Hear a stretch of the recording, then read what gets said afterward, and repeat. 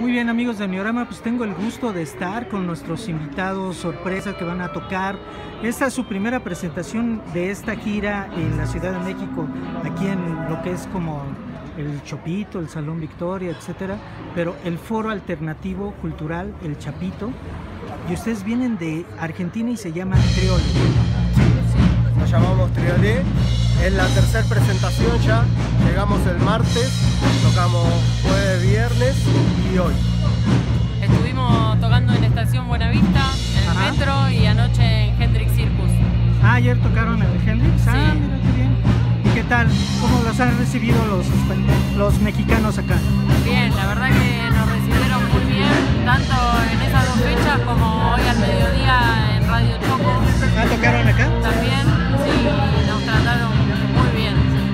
muy bien. Entonces ya, ustedes ya han tenido contacto con el público mexicano. Sí, Y la recepción ha sido buena. Muy, muy buena, muy ¿Cuál- contenta. ¿Cuáles son sus redes y qué otras presentaciones tienen? Eh, nuestras redes son, tenemos Facebook, Instra- Instagram, eh, Twitter, nos pueden seguir por Spotify también. Ah, ok. ¿Tienen canal de YouTube? Tenemos canal de YouTube,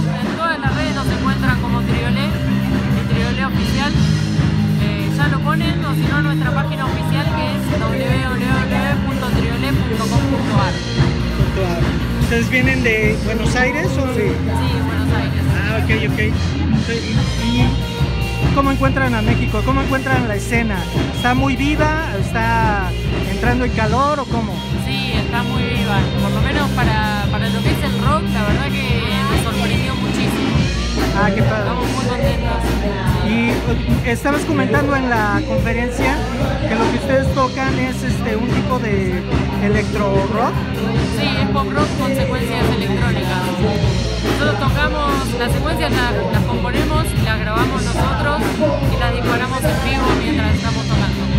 Ah, ok, ok. Pues para hacer dos, eh, la secuencia les ayuda mucho, ¿no? Sí, sí, son más que nada,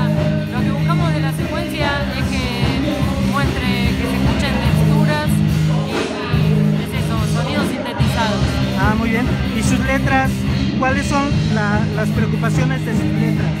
Nuestras letras hablan de, hablan de va- cosas muy variadas, desde lo que pensamos de lo que se ve en la televisión hasta pueden hablar de lo que pasó una noche en una fiesta o en el día a día.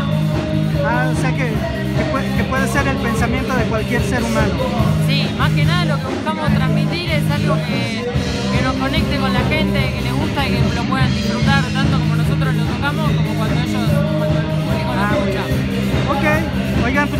agradezco mucho. Esto es para Neorama.